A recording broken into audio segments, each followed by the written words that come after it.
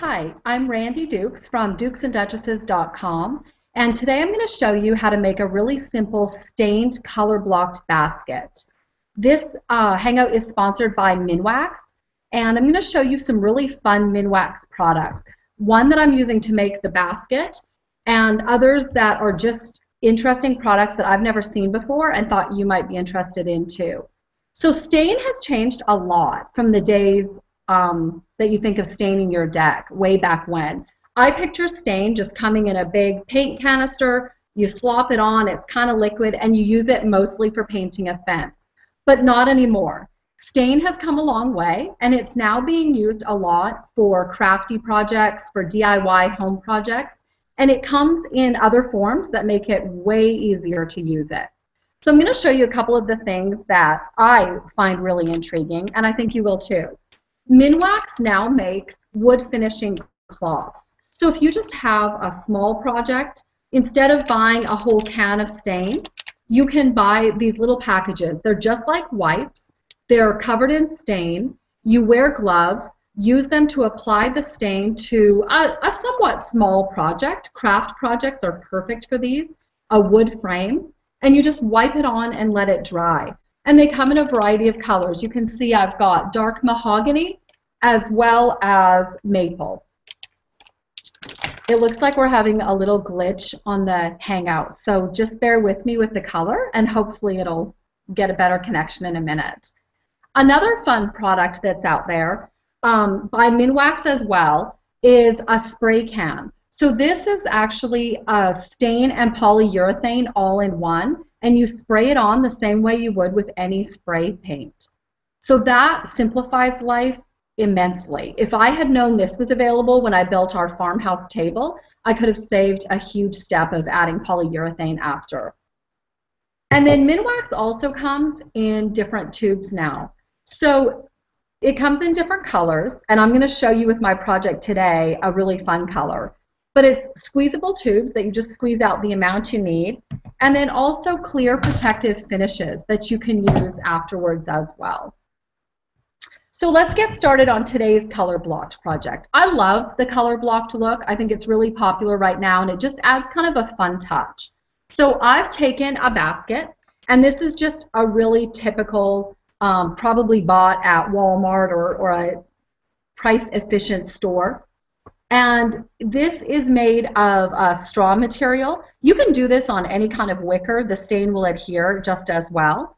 And I took painter's tape and just marked off a section all along the top. And to make it really easy, instead of measuring where I wanted it to go, I just lined the tape up right along with the top of the basket and ran it all around the outside so that I've got an equal um, area blocked off from the paint all the way around. And then I'm using this color in indigo. It's a stain that goes on just like any other stain, but it's much more like a gel consistency instead of that really liquidy stain that we're all used to. So you just open up the pop top. I always use a paper plate. And so you just squeeze it right on. And if I can kind of show you, it's a little runny, but more like a craft paint consistency and not like a liquid stain. And then I'm going to use a foam brush, and you can see that I already did this on part of the basket, but all I did is dip my brush into the stain. I dabbed it again just to get a little of the excess off, and then brushed it. And I'm going down away from the tape because if you go up, chances are you'll end up with some stain underneath that um, tape. And so you just cover all. And because of the weave of this basket, it actually sits right on top of that weave, which I like.